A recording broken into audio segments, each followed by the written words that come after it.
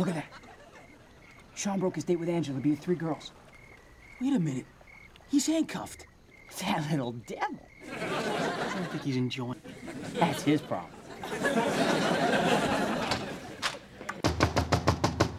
I'll call you right back.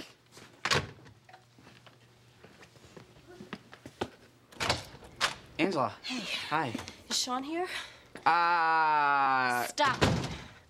He's standing me up, isn't he? No. I guess Jennifer was right. He's just not ready for a serious relationship. Wait, wait a minute. You- You're doubting your whole relationship over one missed date? Come on, that's nothing. Listen, when, when you're in a relationship, you don't doubt first. You trust first. Interesting you say that considering your current situation. Well, my current situation is only my current situation. Topanga? Hi, Eric. Shawn did what? What boathouse? Yeah, Angela's right here. Uh. Then he said he wanted to be my boyfriend and only go out with me. And I believed him. And he said that you liked me, but you just didn't love me like me. And what did you think of that? I didn't understand him, actually. Then when he stopped calling, I understood that. Thank you. The prosecution calls Libby Harper. He came over to my house, and we made out for like three hours. I liked you, Shawn. And I thought you liked me. I did. But people grow apart.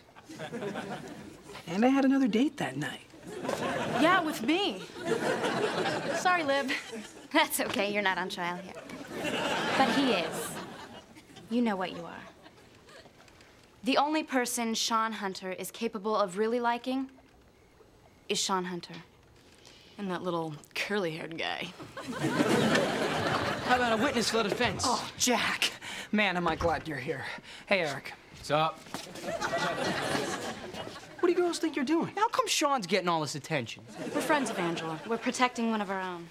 We don't want her to get hurt like he hurt us, so he's on trial for sins against womanhood. I gotta go. Yow. Look, Shawn's my brother, okay? He's a good guy, and any girl would be lucky to have him. And what about you? Eric, you know me. Tell her what kind of guy I am so I can get out of here. You're pretty. He's a bad, bad man. Jack, I was supposed to meet Angela over an hour ago. Help me out here. I object. On what grounds? He doesn't know any better. He's a man. Lousy. No good man, just like the rest of us. Oh, God, why was I born with this curse? Please, it's Valentine's Day. I made a promise to Angela. You made the same promise to me, Shawn. Oh, yeah. I did. But Dana, that was six months ago. Nobody makes a promise that far in advance that they expect to keep. Really? How far in advance can you make a promise? A week? A day? You promised Angela that you'd never disappoint her. How long will it be till you hurt Angela like you hurt us? A week? A day? I don't. I don't know. What do you three witches think you're doing? Angela. We're doing you a favor, Angela. You just don't know it. What I do know is Shawn would have been here for our date if it wasn't for you guys. I tried. I wanted to be with you more than anything tonight. The defendant will refrain from using his charm to sway the witness. And we're not leaving until you admit that you're not boyfriend material. You know what? Give the guy a break, okay? I mean, Shawn's made some mistakes.